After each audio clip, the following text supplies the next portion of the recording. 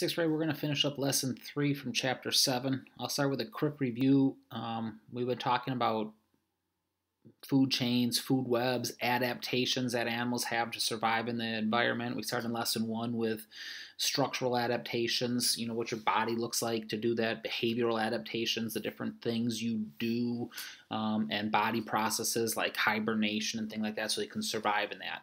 Uh, lesson two was a lot about the energy flow and the food pyramids and the food chains, um, things like that. And then we got lesson three, we ended that uh, Friday before Thanksgiving break uh, with competition. Uh, animals fighting for the resources that they need and how competition increases as resources become more and more limited uh, to try to get those things. And then we ended with predator and prey, um, the way God made animals fight for each other and kill each other. Today we're going to talk about symbiosis and what that is, and we'll get some examples of that. Okay. Hey, hopefully you got your notes sitting here ready to rock and roll and we'll get started on what symbiosis is. Can you tell what's happening in the weevil beetle shown on this page? We're looking here, guys. The long, thin object growing on its back is a killer fungus. The fungus and beetle are an example of symbiosis. Symbiosis is a, one, close, long-term relationship between organisms that benefits at least one of the organisms. So you got number one done, guys. It's always between two organisms. One is benefited. Now we're going to talk about the three types of symbiosis on this page, but in one case, one is benefited, the other one is hurt. In one case, one is benefited, the other one doesn't care. And in one case, both are benefited. But to fall under symbiosis, you need at least one benefit from it. Okay, so right now, as we look at this one, the fungus is getting a benefit. Uh, the weevil is, is definitely not, and we'll talk about how that one works. Example number one type of symbiosis. Parasitism is a type of symbiosis in which one organism is helped, but the other one is harmed. Number two in your notes. A parasite is the organism that is benefited in the relationship. Number three in your notes. A host is the organism that is harmed in this relationship. Number four in your notes. Parasites don't usually kill their hosts. Number five in your notes because they depend on the host for food, but the parasites often weaken their hosts. The weevil, beetle, and fungus have a parasite host relationship.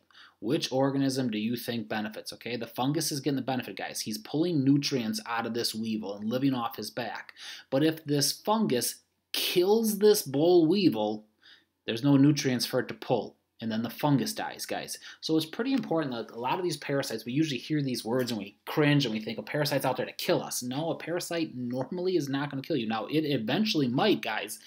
And 99% of the time, when the parasite kills the host, then the parasite dies as well. So that's why they normally don't kill those things. All right, we're going to start looking at some examples here. And number five, like the fungus on the beetle, many parasites live on their hosts. Did you ever have a pet with fleas? B in your notes. Fleas are parasites that live off the blood of mammals. As the flea obtains the blood, it can cause itching and possibly disease in the host. That's why there's a lot of medication out there to try to keep your uh, pet safe from fleas. Uh, parasites may also live inside the host. Number six in your notes.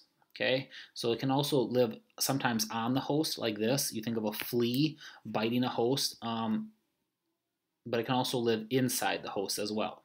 Okay.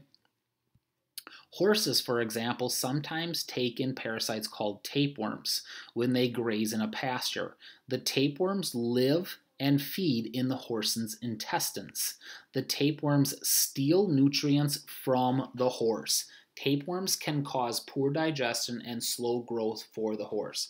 So guys, what this parasite does is it lives in the in the dirt and the grass. The horse eats it, it gets into its stomach, then it attaches onto its intestines, and as the nutrients pass through the intestines, the tapeworm eats some of those in nutrients, which then gives your um, horse not the nutrients it needs. That's why it's going to be a smaller horse. It's going to have poor digestion we're going to look at because it's not getting the resources. And that tapeworm is going to grow bigger and bigger. Now, can that tapeworm actually get too big to kill the horse? You bet it can. And as soon as that happens, the tapeworm most likely is going to die. So um, those things can happen into all kinds of animals and humans alike to do those things. Okay. Um, I'm going to scroll down real quick. This is the next page to get you your last example down here. So the other page in your book talks about symbiosis that's going on in the human body. One right here. We already talked about pets with fleas, but ticks get food by piercing the skin and sucking out blood. So you might have uh, had a tick in you. If you walk through the woods, sometimes you get ticks uh, climbing on you and then they try to bite into you and um, they can pass the Lyme disease uh, to you through that way. The other one down here is athlete's foot. Athlete's foot is caused by a fungus that lives on the skin of the foot. A foot infected with athlete's foot looks dry and cracked and it itches. Okay, so parasites live and it's getting the nutrients off you, and you're getting itchy, dry looking, cracked skin. Okay, that's a harm to you, a benefit to one. That's parasitism. A tick sucking your blood, harm to you, benefit for them. Parasitism. All right, let's go back to the next one. Sometimes when two organisms live together, both organisms benefit. This kind of symbiotic relationship is called mutualism. I would, would like this to see it in yellow, guys, but it's not. So mutualism, both organisms benefit. The moray eel and the cleaner shrimp in the photo live together in a mutualistic relationship. So when I first look at this picture, I'm like, uh, this scary looking animal is about to eat this thing for lunch. That's not what's happening at all. The cleaner shrimp eats dead tissue and parasites from the mouth of the eel. Okay, so they're both benefiting. What is the shrimp getting? The shrimp's getting lunch, right? as it eats this stuff from the eel. What's the eel getting? The eel's getting rid of dead tissue and parasites in its mouth. So they have mutualism going on here. They're both receiving a benefit from it. On the next page in the human body, E. coli bacteria that live in the intestines take in nutrients from digested food. We're like, oh man, it's stealing our nutrients. They help your body by making vitamin K, which helps clot your blood.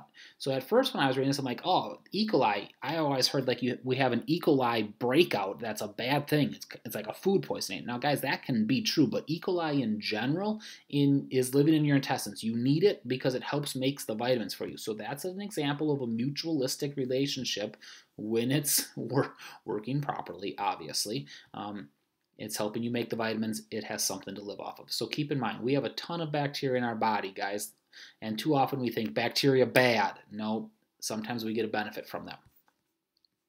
Okay, third type of relationship. Commensalism is symbiosis that helps one organism, but neither helps nor harms the other. So you're down here at number eight. One is helped but the other isn't helped or harmed. So the other one kind of cares less, is the best way to say it. One's getting a benefit, the other one doesn't care.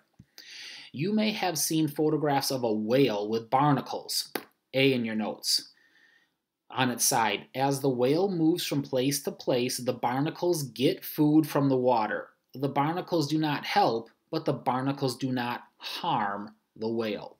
Okay?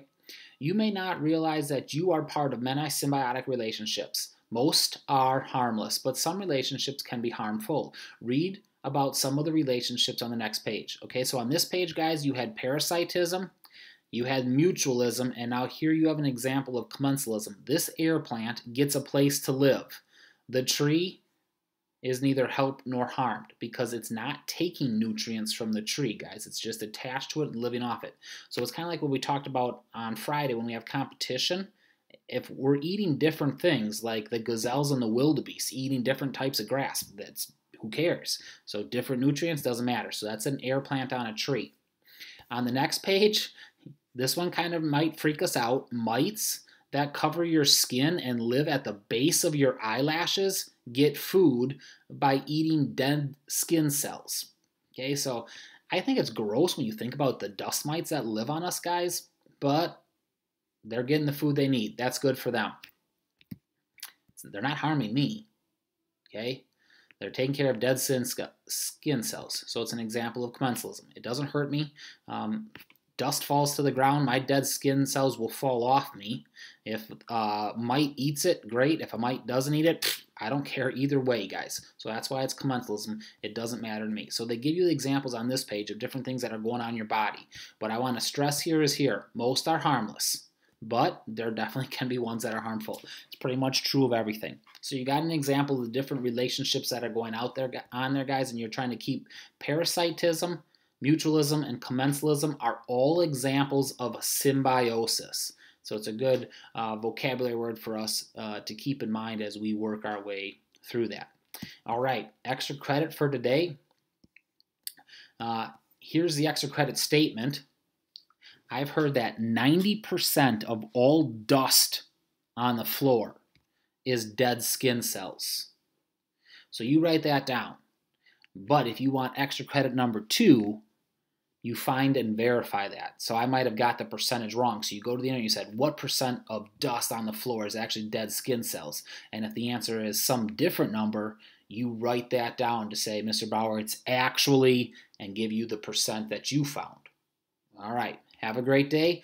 Good luck on the worksheet. Um, use your notes here. It'll help you on some of those uh, matching ones on the bottom where you have the choices between these types of relationships. They're all found on here. All right. Have a day, guys.